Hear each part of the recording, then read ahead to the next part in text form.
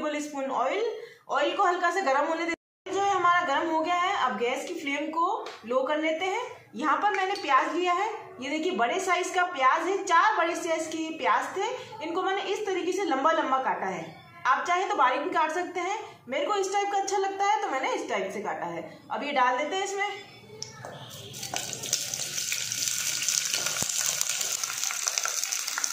अब इसको घुमा लेंगे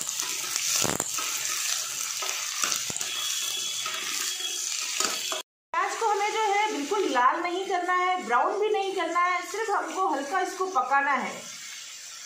तो हल्का जो है इसका हमको कच्चापन दूर करना है। तो इसको हम करीबन एक मिनट के लिए इस तरीके से घुमाएँगे लो फ्लेम पर, ताकि जो है प्याज जो है वो कच्चा ना रहे। लाल हमें नहीं करना है, ब्राउन कलर भी नहीं करना है हमें। आप देख सकते हैं कि प्याज हमारा जो है वो हल्का पक चुका है। डालूँगी। ये है मेरे पास लंबी लंबी, कटी हुई कैरी। देखिए, कच्ची कैरी है ये। तो एक मेरी छोटी सी कैरी थी, मैंने इस टाइप से लंबा लंबा उसको जो है काट लिया है। अब इसके अंदर डाल देते हैं। इसको हल्का घुमा लेते हैं। डाल रही हूँ एक छोटी सी हरी मिर्च, बारीक कटी हुई। उसके बाद मैं डाल रही हूँ, कुछ मेरे पास पुदीना के पत्ते हैं, वो मैंने बारीक काटे हैं। वो भी मैं इसके अंदर डाल रही हूँ। फिर से इसे घुमा लेते हैं।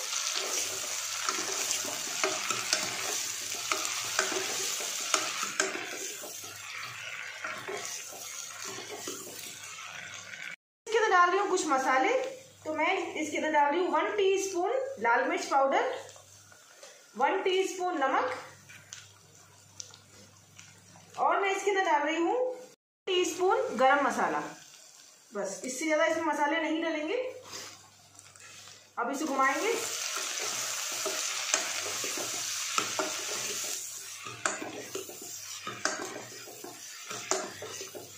इसको इसी तरह से लो फ्लेम पर एक मिनट तक जो हमने मसाले वगैरह डाले हैं तो एक मिनट तक इस तरीके से भून लेंगे। सिर्फ़ एक मिनट तक भूनना है बस।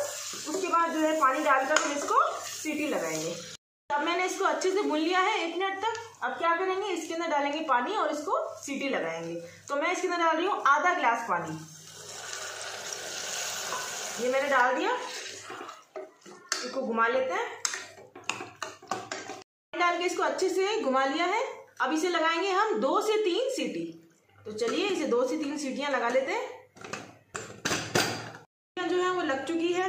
चलिए अब कुकर का ढक्कन खोलते हैं और देखते हैं कि हमारी सब्ज़ी कैसी बनी है।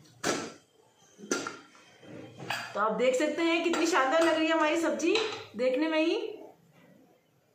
चलिए अब इसे सर्व करते हैं। हमारी सब्ज़ी मैंने यहाँ पर सर्विंग बाउल ले लिया है, उसमें डाल लेते हैं।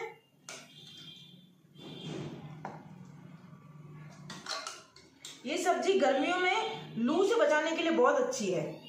जो कि बच्चों को, बड़ों को सबको बहुत पसंद आने वाली है। और देखिए, फटाफट से बन जाती है। प्याज भी इसके अंदर हमने डाला है, पुदीना भी डाला है और हमने इसके अंदर कैरी भी डाली है। तीनों ही चीज़ें जो है, वो गर्मियों में हेल्थ के लिए बहुत अच्छी होती हैं। और हेल्थ के साथ साथ अगर आपको स्वाद मिल जाए तो फिर तो क्या ही बात। अगर आपको मेरी वीडियो अच्छी लगी हो, लाइक ज़रूर कीजिएगा। कमेंट्स में ज़रूर बताइएगा, आपको रेसिपी कैसी लगी। मेरा वीडियो देखने के लिए धन्यवाद।